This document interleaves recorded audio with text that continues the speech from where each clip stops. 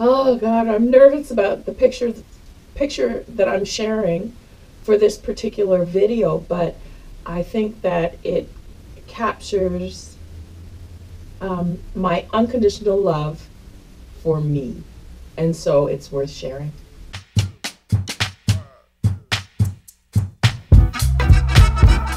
Karen Nicole Smith here. Welcome to my boundless life. Uh, this one is nervous, nerve wracking, nerve inducing. Today's video is about me being comfortable in my own skin. Because of my health, being comfortable in my own skin entails quite a bit.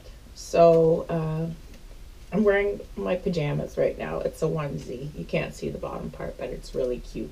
Anyways, so right here, I have a line so that I can do dialysis. So that's very important.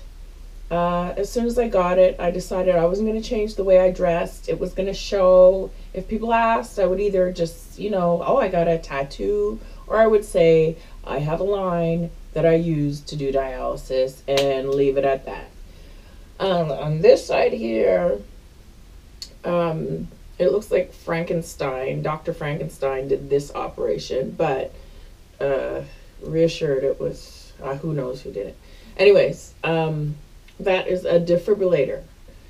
I've had a cardiac arrest before, and so once you've had a cardiac arrest, then they put a defibrillator in you so that if it happens again in the future, they don't have to use the defibrillator, you know, like clear, clear, whatever, like on TV.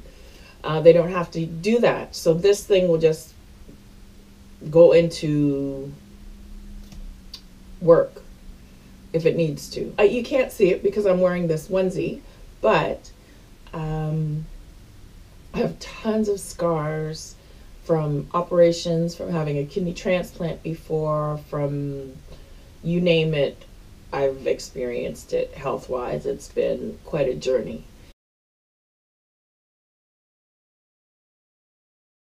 So, because this blog uh, or this vlog is not about my health, I want to talk about why that's relevant to even bring it up. And in my case, it's relevant because I think one of the biggest lessons I'm meant to learn in my life is about um, unconditional love.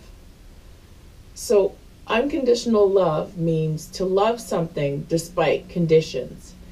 And in my case, for me to love myself, uh, I had to learn to love myself despite my health, and I had to learn to love myself despite uh, all my, I call them mechanicals, all my mechanicals, and you know, all the scars, all the, you know, the the signs and symbols on my body that I'm a person with health problems.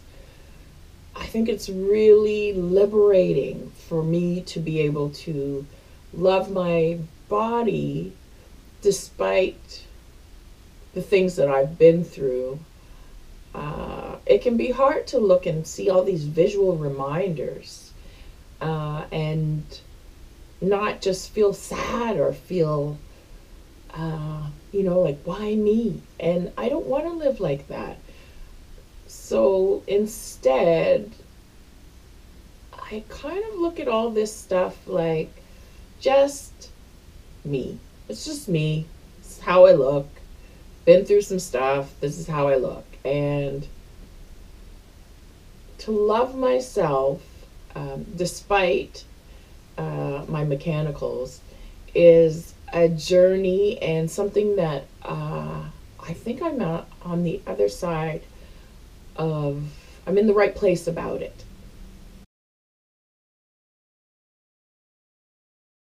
In the past, I think I thought, oh gosh, you know, what will people think? What will, you know, will somebody love me? Will people think that I'm different or weird? And now I just think, this is who I am.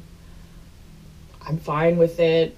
If somebody else is fine with it, cool. If somebody else isn't fine with it, cool. It is what it is.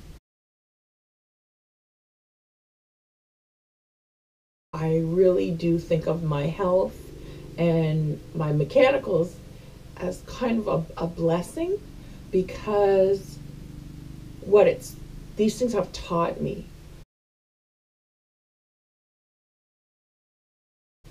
So these things have taught me unconditional love for the most important person that you are meant to learn unconditional love for, and that is yourself. I know now because I can love myself despite my health, despite um, my mechanicals and my scars, uh, then now I have the capacity to love somebody else. And I think that that is probably the most important lesson that we're meant to learn, period. And I really do believe that life is, is really about lessons, or else I wouldn't be able to make sense of a lot of the things that have happened to me.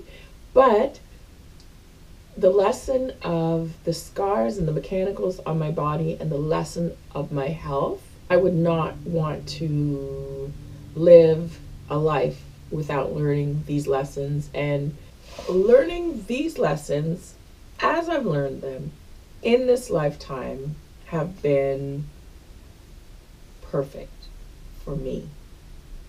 So weird because I wouldn't wish uh, chronic illnesses or mechanicals on anybody else. But for me, I am so thankful for what I've learned through these things. I don't think there's much more I can say.